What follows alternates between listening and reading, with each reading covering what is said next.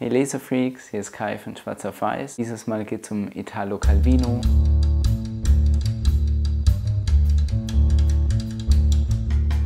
Der Klappentext unnötigerweise leider schon verrät, geht es in diesem Roman um den Baron Cosimo di Rondo. Das Buch spielt Mitte des 18. Jahrhunderts und aus der Sicht des jüngeren Bruders wird erzählt, wie der zwölfjährige Adelsspross einem An in so einer Art Revolte auf, die, auf einen Baum klettert und bis zu seinem Lebensende, viele, viele Jahrzehnte später, wird er keinen Fuß mehr auf die Erde setzen.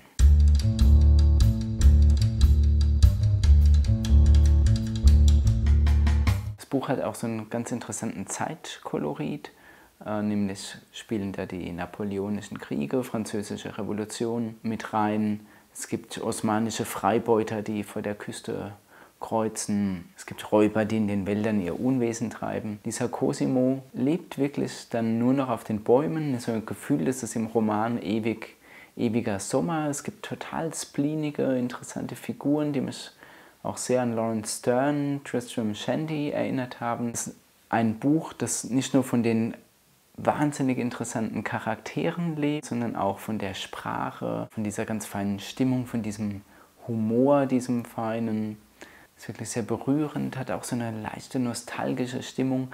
Aber zu meinem großen Glück habe ich erfahren, dass es äh, so eine lose Trilogie ist. Das heißt, es gibt noch zwei weitere Bücher, die dazugehören.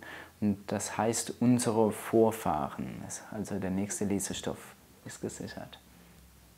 Wenn euch dieses Video gefallen hat und dieser Buchtipp, dann lasst einen Daumen nach oben da oder noch lieber einen Kommentar. Lasst doch mal hören, welches Buch euch zuletzt so richtig verzaubert hat. In diesem Sinne, bis zum nächsten Mal. Ciao.